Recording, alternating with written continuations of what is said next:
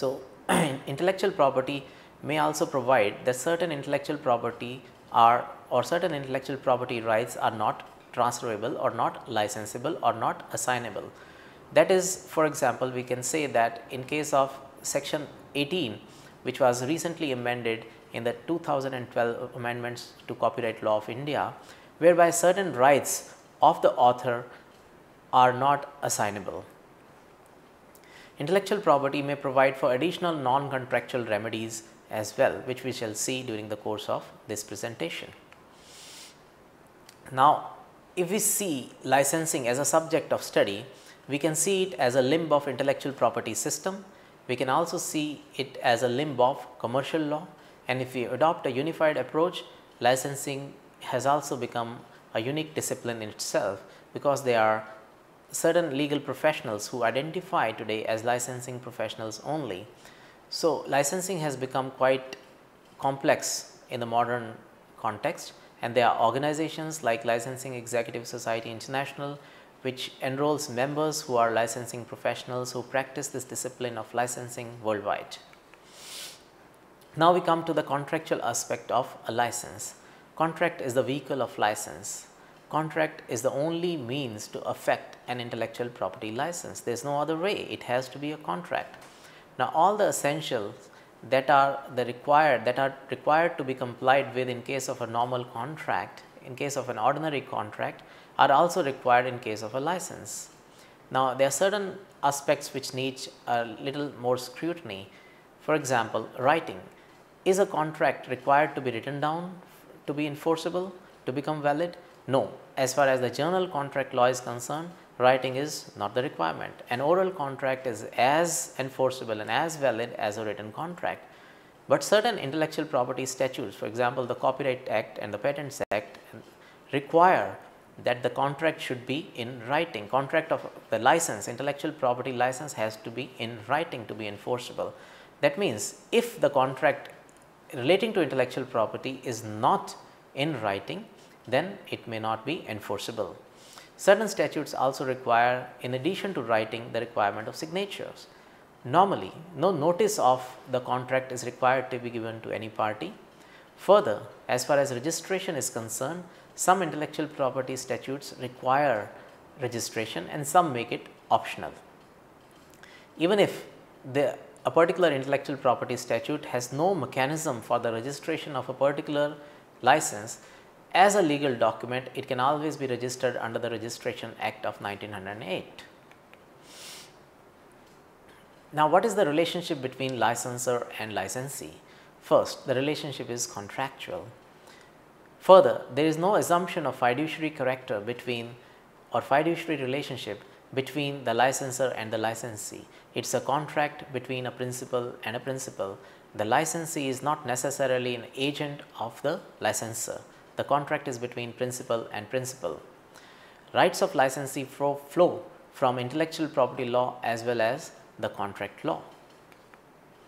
Now, what are the types of licenses? First, license could be exclusive. An exclusive license is very similar to assignment. Now, what is an exclusive license? Exclusive license is a situation whereby the owner of intellectual property agrees with the other to grant a license exclusively. That means the owner of the property says that I shall not grant any other license to anybody else. Further, the owner promises that he himself shall not be exploiting that intellectual property which is the subject of an exclusive license.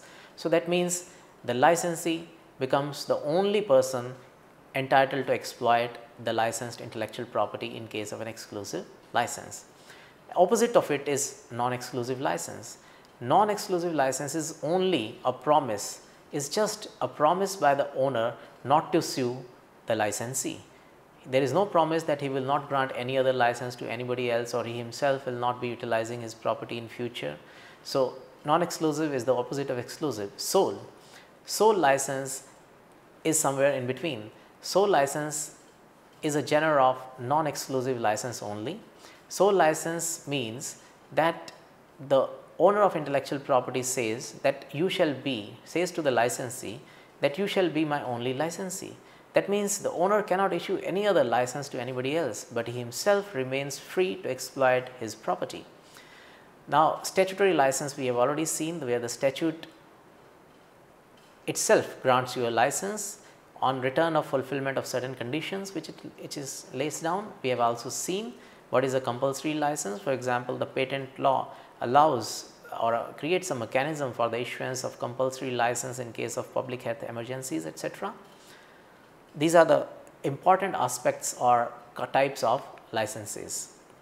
Now, the division of license rights, it could be divided in four, any license could be divided in four ways. One is geographical, that means you can divide the licenses over the same property geographically. For example, you have a product and you can allow somebody to sell it in one particular geographical area and the other to sell it in another geographical area. So, for example, I am the author of a book. I can allow one publisher to publish it for America and another publisher to publish it in India in the same language. The division of license rights could also be temporal.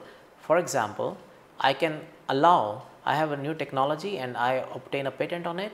I can grant a license to a manufacturing entity to manufacture and market the technology that I had invented for 5 years and thereafter that entity will not be entitled to do the same.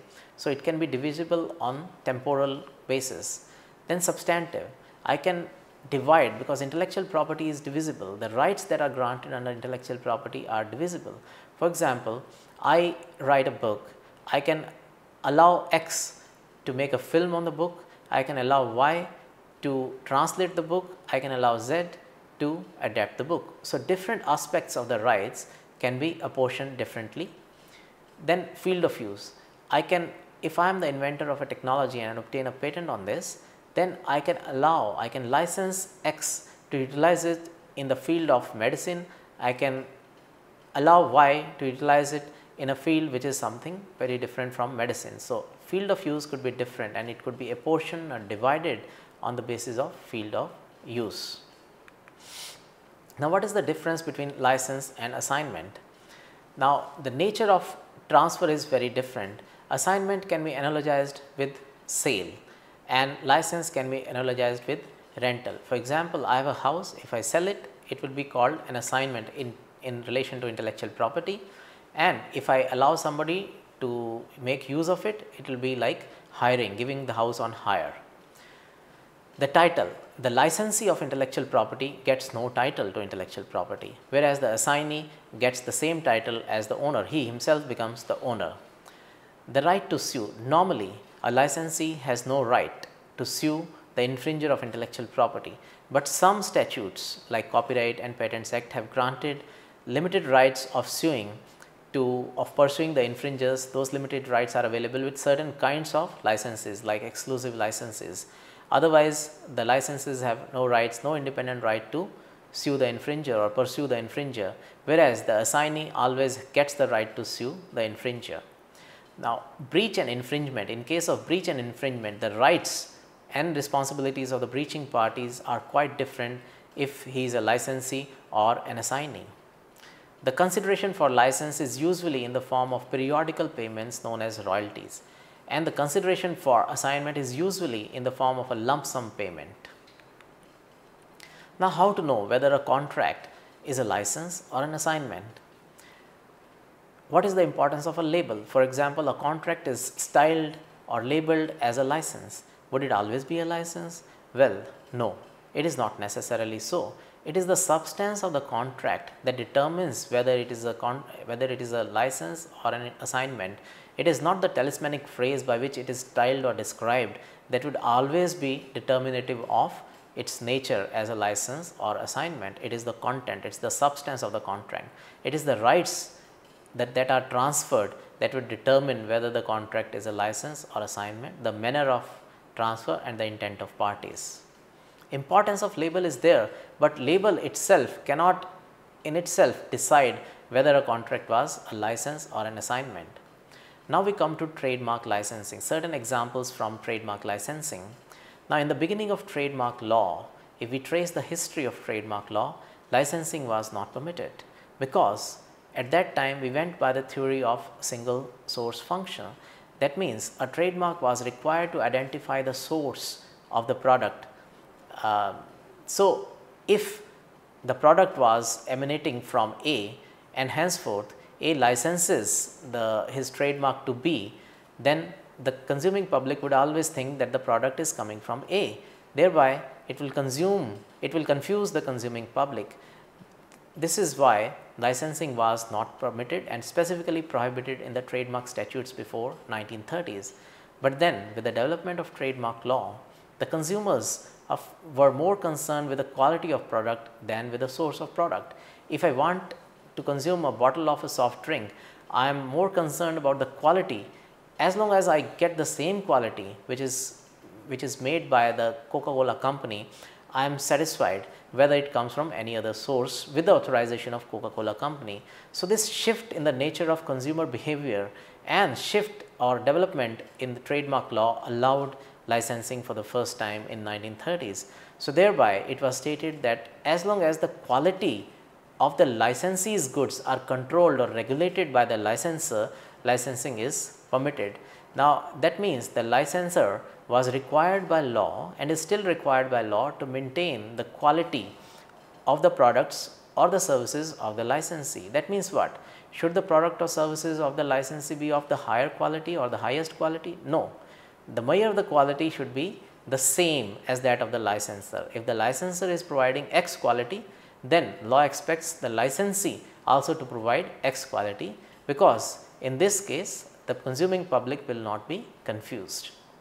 And then with the merchandising function of trademarks, licensing of trademarks has come full circle. In the modern world, what is merchandising?